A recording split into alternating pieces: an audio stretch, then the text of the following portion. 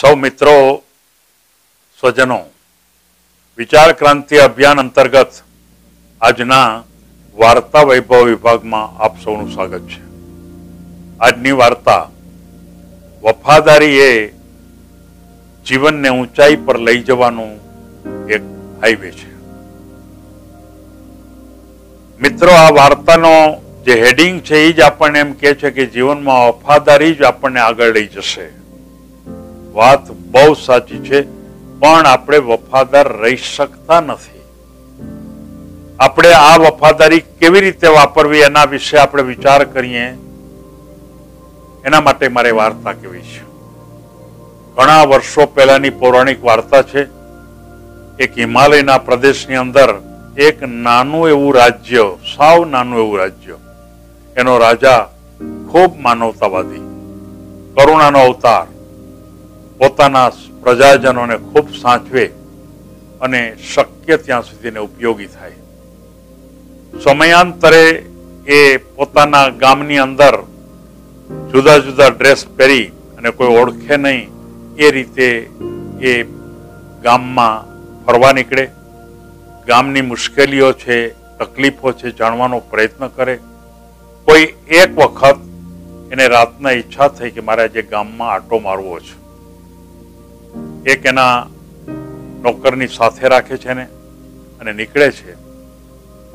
કોઈને ઘરે શું થાય છે? ક્યાંક માનો કે દુકાન ખુલ્લી હોય તેનું કેમ ચાલે છે? ક્યાંક માનો કે અમુક માણસો કામ કરતા હોય ખેતરની અંદર તો એને કેટલી કેટલી તકલીફ છે? આવું જોતા જોતા જોતા જોતા બરોબર બહુ મોડું થઈ ગયું. લગભગ રાતના ત્રણ ચાર વાગી ગયા. એ પોતાના મેલમાં જાય છે.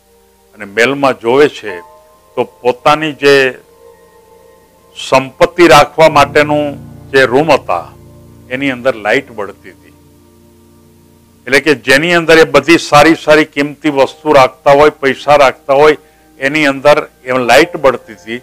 રાત્રે ત્રણ વાગે લાઇટ બળે, એના મનમાં કલ્પના પણ આવતી નહોતી કે અત્યારે કોણ કામ કરતું હોય.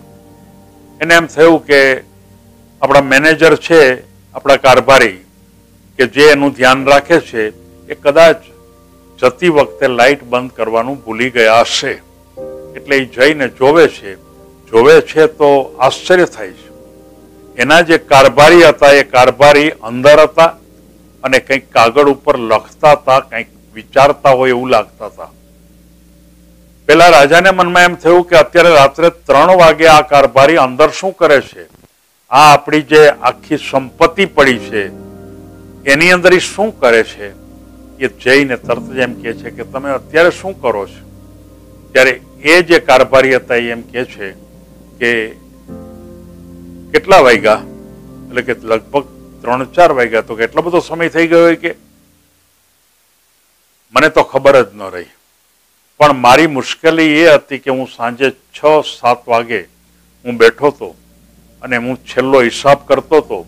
અને હિસાબ કરવાની અંદર બહુ મોટી રકમ વધારે મને લાગી. આ રકમ કોની હશે? કેવી રીતે આવી ગઈ? હિસાબમાં મળતું નથી. મેં બહુ પ્રયત્ન કર્યો. હું વિચારતો હતો કે કોની હશે? ખૂબ વિચાર્યું, પણ હિસાબ મળતો જ નહોતો, મળતો જ નહોતો. એટલે હું હિસાબ મેળવવા માટે કામમાં લાગી ગયો લાગી ગયો. અને હું ખોવાઈ ગયો કામમાં, અને અત્યાર સુધી હું કામ કરતો રહ્યો. ત્યારે રાજા એમ કહે છે કે, ભાઈ આ કામ તો સવારે કરી શકાત. અત્યારે કરવાની શું જરૂર હતી? ત્યારે એ જે કારભારી હતા કે વાત સાચી છે, સવારે જ કરી શકાય. પણ પરિસ્થિતિ એવી હતી કે મને પોતાને વિચાર આવ્યો કે આ બહુ મોટી રકમ છે ને કોઈ માણસ આપી ગયો હશે. અને એને રાતના ઊંઘ નહીં આવે. અને કદાચ હું સવારમાં જો કામની શરૂઆત કરું તો આ હિસાબ મેળવતા મેળવતા મને સમય પણ બહુ લાગે, એટલે કદાચ સાંજ સુધી મને હિસાબ ન મળે, તો કાલ સાંજ સુધી મને ખબર ન પડે કે આ સંપત્તિ કોની વધારે હતી. પૈસા કોના વધારે આવી ગયા? મને સમજાય નહીં, એટલે મને એમ થયું કે એ જે વ્યક્તિ હશે, એના ઘરમાં પણ મુંજાવો થતો હશે, એને એમ થતું હશે કે પૈસા ક્યાં ગયા, કેવી રીતે ગયા, કે મેં કાલ સાંજ સુધી જો એને રાહ જોવી પડે તો બનવા જોગ છે કે એની અંદર મુશ્કેલી ઊભી થાય, એને માનસિક તણાવ રહીએ અને કદાચ કોઈ સામાન્ય પ્રકારની વ્યક્તિ હોય તો કદાચ નાના એવા ફોર્મની અંદર નિરાશ થઈ જાય, હિંમત હારી જાય, આપઘાત પણ કરી બેસે. આ ન થાય એટલા માટે મને એમ થયું કે મારે હું અત્યારે જ બેસીને કરી નાખું, પણ આટલો બધો સમય જશે એ મને ખબર નહીં. રાજાના મનમાં પ્રશ્ન થાય છે કે મારા આ જે કારભારી છે, કેટલા વફાદારીપૂર્વક કામ કરે છે. આટલી વફાદારીપૂર્વક તો હું પણ રાજ્યને નથી રહેતો, એટલી વફાદારીપૂર્વક કામ કરે છે. પણ હું જ્યારે લાઈટ જોઈ અને એ કારભારીને અંદર જોયા એટલે મારા મનમાં એના વિશે કેટલાય નેગેટિવ વિચાર આવી ગયા કે વારંવાર રાત્રે અહીં આવતા હશે, અહીંથી પૈસા કે વસ્તુ કે ઝવેરાટ લઈ જતા હશે, આ માણસ ખોટો લાગે છે આવા કેટલાય નબળા વિચારો મારા મનમાં આવી ગયા, પણ હું અંદર આવ્યો અને વાતને મેં સાંભળી, ત્યારે મને ખબર પડી કે આ માણસ કેટલો મહાન છે. કે સામા માણસને કે જેને ખબર પણ નથી કે માણસ કોણ છે, એ માણસને કાલ સાંજ સુધી કંઈ તકલીફ ન પડે. હિંમત ના હારી જાય એટલા માટે એણે પોતે પોતાનું બધુંય છોડી અને એણે આ હિસાબ મેળવવાનું કામ કર્યું. દોસ્તો, આ વાત બહુ અગત્યની છે. આ વાતનો સંદેશ એટલો મોટો છે, બોધ એટલી મોટી છે કે કોઈક વખતે આપણને કોઈના વધારાના પૈસા મળી ગયા ત્યારે એ પૈસાને આપણે આપણે એને પાછા આપવા માટેની જેટલી શક્ય મહેનત કરવાની હોય એટલી કરી લેવી જોઈએ. ખાસ કરીને મને ખબર છે કે બેંકના અધિકારીઓ એમાંય જે ખરેખર જે કેશિયર હોય છે એને કોઈ કોઈ વખત વધારે પૈસા આવી જાય, કોક કોક વખત એની પાસે પૈસા ઘટે. અને જ્યારે એના પૈસા ઘટતા હોય ત્યારે એને પૈસા પૂરા કરવા પડ્યા બેંકનો નિયમ હોય છે એ કેટલાય મોડે સુધી હિસાબ કરે હિસાબ કરે. પણ જો એને વધારે પૈસા આપ્યા હોય, જઈને આપી આવે તો એ માણસની આખી ભૂમિકા બદલાય છે પગાર તો એને મળતો હશે, પણ ક્યારેક ક્યારેક મને એવું પણ ખબર છે, અનુભવ થયો છે કે કેશિયર અમારા મિત્ર હોય બહુ નજીકના સંબંધી જેવા હોય અને એ રાત્રે દસ વાગે ફોન કરે કે તાત્કાલિક મારે આટલા પૈસામાં ભરવા પડશે. અને એ પૈસા ભરવા જ પડે ને. અને આ ભૂમિકા છે. મિત્રો, મને આના અનુસંધાનમાં એક જ્યારે મને નાનપણની અંદર હું માત્ર બહુ માનો કે આઠ દસ વર્ષની ઉંમર હતી, ત્યારનો એક મારે કિસ્સો એટલા માટે કેવો છે કે આપણા બાળકોને પણ ખ્યાલ આવે.